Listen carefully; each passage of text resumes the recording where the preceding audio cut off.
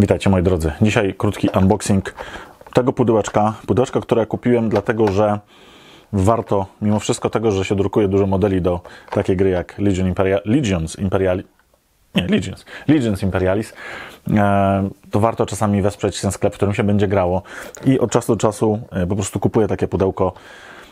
Ilość modeli, którą wydrukuję, nadal przewyższa modele, które kupiłem tak, dobrze mówię, to, to dobrą stronę. E, a poza tym uważam, że to pudełko to akurat całkiem ciekawa opcja, tym bardziej, że modeli, e, tych modeli w tej skali e, tak dobrej jakości ciężko jest tak naprawdę znaleźć, przynajmniej ja nie mogłem znaleźć w wydrukach 3D. Zapraszam do odpakowania Legions Imperialis Legiones Astartes Support.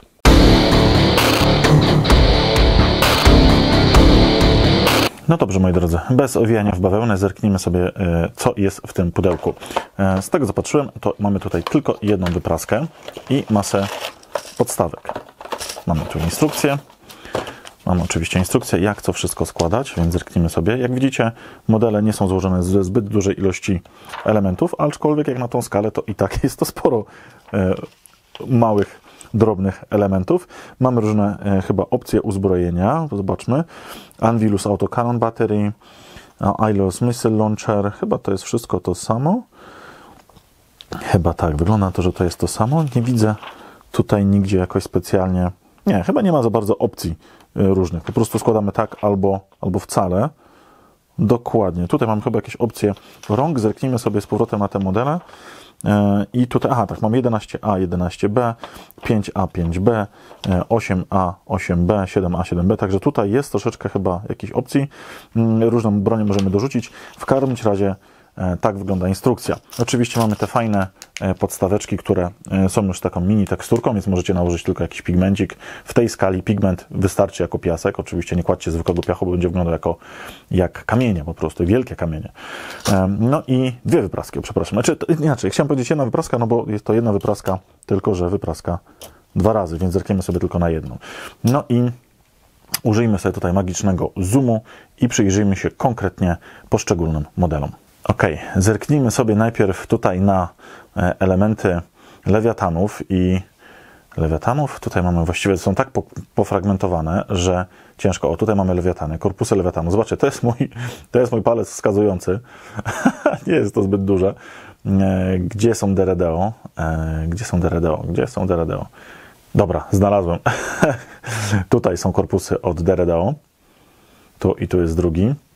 Więc mamy cztery takie najciki. No i zobaczcie sobie powolutku, zerknijmy sobie po prostu na wypraski.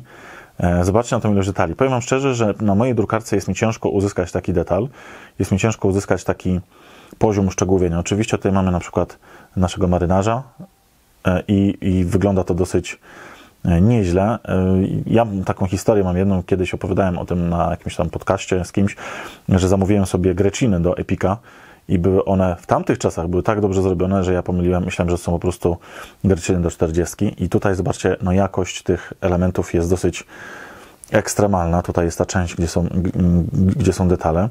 Zerknijmy też sobie, są nogi do, e, do lewiatanów, e, są te maszynki wyburzeniowe, no i części od Deredeo właśnie i plecki Deredeo.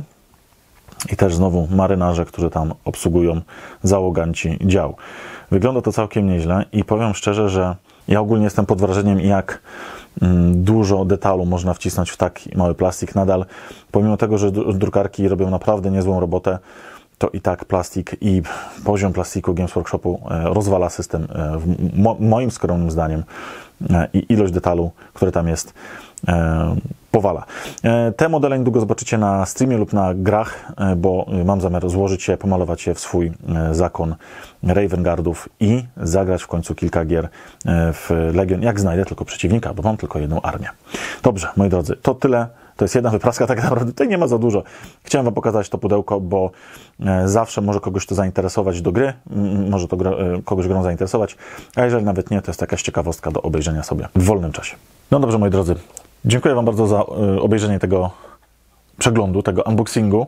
E, mam nadzieję, że takie pudełka i to, co robię ja osobiście, że Wy też czasami robicie, że wspieracie swoje lokalne sklepy kupując, pomimo tego, że drukujecie dużo modeli pewnie.